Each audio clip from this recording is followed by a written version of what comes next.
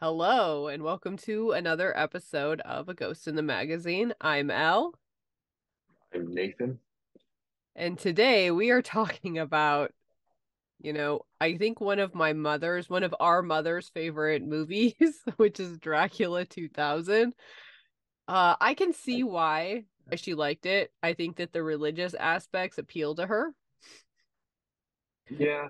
mean, and I think that they would for some people. And She likes all that shit. So she likes like uh I know what she did last summer and Scream and all that stuff, which is I know where I'd fit this into. yeah, like in the late 90s, early 2000s, uh, horror. Yeah. Which I mean, I got that vibe from this movie. You it aged very unwell. I will say that. Okay, so in the credits alone, I saw two rapists immediately. We have Danny Masterson and then Harvey Weinstein, of course. Didn't even see one. I saw Masters and I was like, gross. Yeah, he's just he's a greasy boy no matter what role he plays anyway. Like he's got bad vibes to begin with. But we've also got Dr. Foreman from House and uh this is fucking Sparta as Dracula. I did recognize the guy from House. I was like, oh shit. Even though he's kind of like a minor role, but yeah, I was like, oh, Yeah. oh shit, that's the guy from House. I didn't remember his name, but you know the big celebs. both him and Danny Masterson were part of this gang that was going in to do a heist. So it was kind of like a heist movie, which I also think was very hot in the time period. But it was also Gerard Butler as Dracula in the thing that they are heisting, which this doesn't look like Gerard Butler throughout most of the movie. It looks like a glitching AI Jeff Goldblum dressed as Criss Angel Mind Freak. That's what it looked like to me. Yeah, like I said, I didn't even like at the very end of the movie. I was like, oh shit, that's Gerard Butler. like it was Like You know when I realized- like, when I realized it was him was when I looked it up on IMDb afterward. the- yeah, because I was like, I, I thought Gerard Butler was in this movie. I was like, oh, Mhm. he's a fucking Dracula. But he just is like a generic dude. I don't know. Yeah. And he's like fucking shirtless for half the movie too. And I mean, he's not in bad shape or anything, but he's not like he's not 300. That's like the only Gerard Butler movie I've really seen. So Yeah, I feel like I've seen him in other things, but I can't remember. yeah. So, He's just like one of those guys. Uh but yeah, the Dracula for me and I have watched so many Dracula adaptations and some of them are really boring and some of them are really just like the book done over again just like again and again which gets really not fun to watch but I really wanted to like this because they took it to a different time period. They were trying to tell us a little bit of a different story, but it was just so badly done. It just yeah, I mean, if one thing you got to give him is original take on Dracula. I yeah, it's it's original. It's fucking corny. mean, I, yeah, I was gonna say it's kind of fucking dumb, but you know, at least they tried. At least they tried, Right. yeah. And this was a Wes Craven movie, which um Oh, it's, yeah, because you were saying it actually reminded you of. Scream and stuff, and it's like, Yeah. yep, that's really this time period of I think that the premise is cool, right? That Van Helsing used leeches to stay alive for over a century to try to figure out how to kill Dracula under the guise of this like antiques collector. And he's like trying to gather old tools and information and like try to figure out a way to kill this bitch that he's keeping in a coffin and is safe before these guys come and try to heist it. if they're guarding something heavily, it has to be, you know, very expensive. That's that was the logic behind heisting it. They didn't do any research on it. They're just like, hey, you know, they're putting a lot of money into guarding this, so Yep. must be You know, something good. What if it was like some kind of like biological agent that he was keeping? I mean, he's Or- a fucking weird old man. Like, Yeah. What you expect? It could have been like that episode of Trailer Park Boys, here we go, where they think that there's uh expensive stuff in the safe at Sam Losco's uh dentist clinic and they find out it's just his mom's old uh nasty teeth. yeah, but I mean, It was kind of the equivalent of that. It kind of was. Except for was the like some teeth old- bite. yeah, attached to Charm Butler, who fucking just like looks at women and they let him bite them. And I mean, I know Dracula's like supposed to be seductive. That was that was a twist. This was also just like the most uncomfortably straight Dracula that I've ever seen in my life. Yeah, he didn't really know. Yeah, he didn't really have any bisexual. No, mean, he's just like uh, I like chicks. As Dracula a, as is a a friend would say, bisexual chicks on king. Chicks Yeah. dicks. Dracula's a bisexual king. Okay, I feel like vampires are bisexual. Okay, Oh yeah, at the very least. and the fact that this old man is sitting here, Lestat wanted to bang old men like multiple times. Lestat wanted to bang old men. This old man is sitting here like eating leeches or like doing something with these leeches that came off of his body enough to get blood in him that when he nutted in some lady it made a baby that was partially Yeah. Dracula's blood and Dracula wants to fuck the baby that is blood of his blood but he doesn't want to fuck the old man that doesn't make any I- sense to me like fuck the old man Dracula Was Anne Rice like really into this movie? It's like the New Orleans setting Right. and the uh the banging and the air scene that was reminiscent. um, yeah wanting to bang your own family.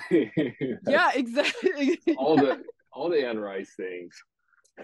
I feel like I, I actually had to check because I was like, I wonder if this and uh Queen of the Damned came out. Queen of the Damned was two years later. But I feel like I feel like maybe they they the the writers talked to each other or maybe like somebody had read some Anne Rice because yeah, as soon as I saw New Orleans, I was like, they're at least nodding to her. They have to be. seems to be all the vampires hang. And the thing about the banging is is when he's like, "Oh, uh I want to fuck my my daughter through this other man." Uh I was like, "Okay, that that tracks because Dracula's an aristocrat and aristocrats are like notorious cousin fuckers, right? But Dracula's not actually Count Dracula, the aristocrat. He is Judas Iscariot." Yeah, that was a weird twist too. Which like I oh my gosh, there's so many things wrong. The Judas Iscariot thing is like fucking Icarus with wings made out of corn cobs flying too close to the sun so they explode into popcorn. It is the corniest fucking shit I've ever heard. It's also like wildly entertaining, but I feel like it it panders to like the like weird like uh religiously uh traumatized people. like I don't understand fully how he became a vampire. Like to go back to that, like he hung himself and it was like a curse or something. Like I don't understand. I like, have to jump to the end with this this one because I've got to say something about the ending and the hanging and all that stuff.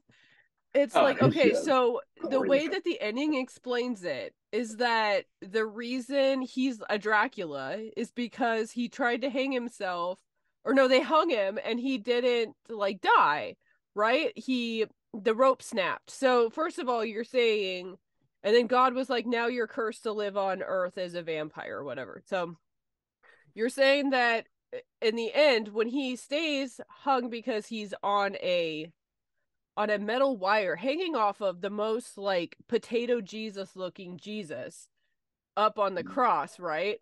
Um, he's hanging off of a building and he finally catches on fire, and it's like God is finally taking why? Why are you telling me that if there were modern building supplies back in the time of Judas Iscariot, he would have never been a vampire? Um, like I just don't. Uh, did God just change his mind all of a sudden? Why? Like I didn't see a character arc in him. He was still just eating people and being horny. Like that's it's not Yeah. changed.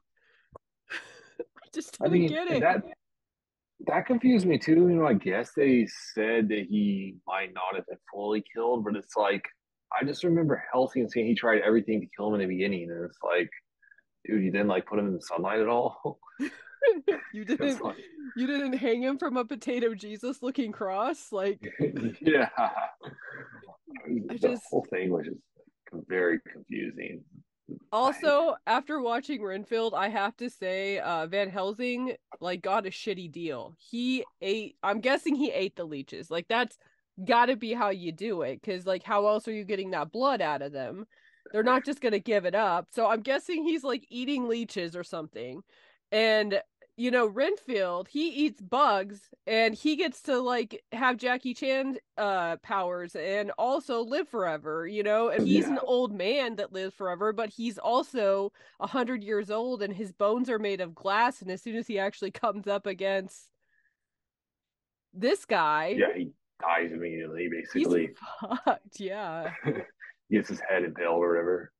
He's like under the bed too. I don't know how that worked but then there was uh fucking leech going in that masterson's eye when he opened up the coffin that was fucking dumb yeah Like that was the leech. That was the most memorable leech scene to me. It's like, dude, how the fuck do you get shit on your face? Like, I don't know. Everyone just seemed really dumb in this movie. Simon guy was kind of annoying too. It's like, yeah he was kind of boring and British. There's that. Even though it did set the good line, you Brits like the sweet talk, you Brits like the romance. All I like to do is suck. That was a line that was told to him by the lady vampire, which I just have everyone as the lady vampires because I don't remember. I think one of them was Lucy's friend, hmm and one, One, of them, them was oh, Lucy. Okay, so Lucy Westerman is the analog for Lucy Westenra, and uh, that's Mary's friend, Mary, Okay, who Mary is what I'm thinking of. an analog yeah. for Mina. And then there was the reporter, who's played by Jeri Oh. Ryan, who was like a famous like. She was on Star Trek. That's who I know who she is. But I think she was like famous with like she dated some like metal guy. I don't remember. Um, Well, I watched you in this movie. and then there was um there was a third lady uh who was she I, I I totally forgot about. See, that like just shows how much attention I was able to pay to this movie. I can't the remember now. I noticed I kept looking at the time and being like, how much longer? Much is left in longer. dude i did that especially in the end i kept pausing it to see where i was at because i was like god damn it how much more could they possibly say here yeah, exactly. Oh yeah, there's Selena too, who was the like assistant in the first place. okay there we go vampire. Yeah, she hung around till the end. I don't really remember what happened to Doctor House's friend. I remember he tried to attack him, hmm and did he die there? i think i think I guess so. because I don't remember him be back again. yeah I- had a I- really corny line too. He's like something about a brother being like thirsty or something. it was really dumb. oh my gosh like i don't know dude Once again, you can say it's original. That's like what it had going for it. You know, the killer soundtrack Maybe, yeah, killer soundtrack. Uh, Linkin Park was the first yeah song. I know. and then like The Powerman 5000 and yeah, yeah. I mean, I didn't recognize like most of the songs, but yeah, I would assume it would be like Powerman Five Thousand. I didn't either, but I thought they were all Rob Zombie cover bands. Like they paid somebody to rip off Rob Zombie because that's what it sounded like to me. And then I looked it up and it was like actually a bunch of different bands. And I was like, ooh, crap. I guess I just don't know my nu metal well enough. I don't know. I wanted to like this because, like I said, it's I a different take. I wa- I have watched so many like remakes of Nosferatu or just like Dracula beat by beat, like the same thing in the book. And uh I I liked that they took it to a different time period. I like that they uh made Mina somebody that was like related to Van Helsing through a weird way, related to Dracula as well. but like Dracula being a nu metal David Blaine it just it didn't work for me. He was wearing the long leather trench coat. It was very Matrix Neo. once again, it's just like age bad because like at that time, that was probably like the most badass thing was to be like a nu metal like guy. this is like great value, uh, Queen of the Damned, and that's sad because this was the this came out two years before it, and it and the Queen of the Damned was not a good movie. Yeah, I've never seen it because isn't that like that's a long movie, isn't it? Mm, I think Oh, I thought I don't know. Maybe it is. Maybe I'm just not. See, the thing is, it's it's a bad movie, but I like it. I like it. I like it more than I like the Mayfair Witches uh series. I like it better than some Anne Rice property, you know. So like, yeah. If it wasn't for Brad Pitt's Louis, I probably would like it better than the other one, just because I love Aaliyah as Akasha. I think that that's like one of the best casting choices they ever made in any of those. But let me see how long it is. I- I will give this like I honestly might like this better than the uh, Mayfair Witches uh, series.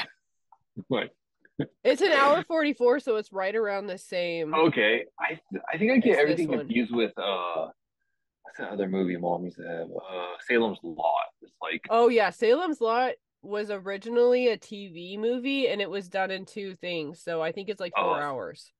it's like fucking it was okay.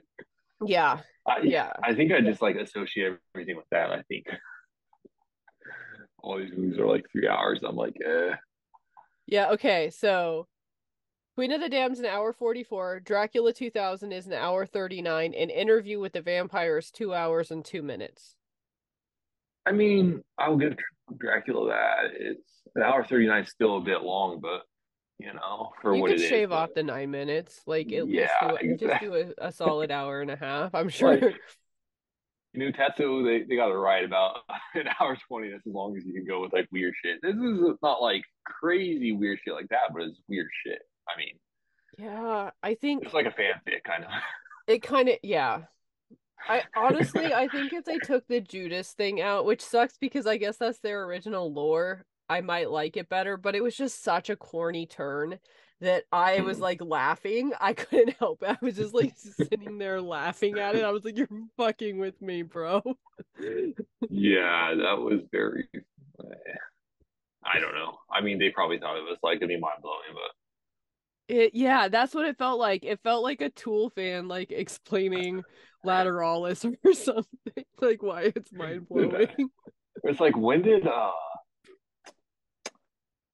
the Sixth Sense come out? That I think this was after that. Like at that time, like everything had to have you know like some crazy twist. So maybe they're like, Yeah. know, we have to compete with M. Night Shyamalan now. So You are odd, Nathan, because The Sixth Sense was 1999, so it was the year before this, and it was probably in production Well, that was like a hit movie. I would bet.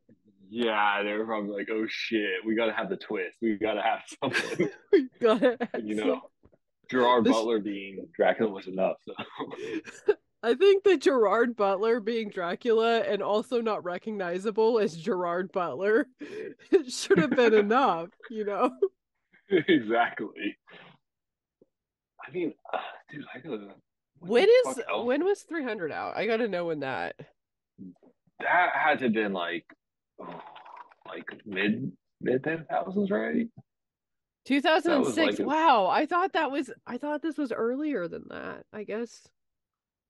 No, yeah, that was like around when I was in like middle school and stuff or junior high. So, or I guess Yeah. high school shit. Yeah, that's what I'm saying. Like I thought I thought it was Okay, yeah, that was. Yeah, 'cause it was like such a like monoculture thing. Like the that meme was like everywhere. yeah. Everyone was talking about that dumbass movie.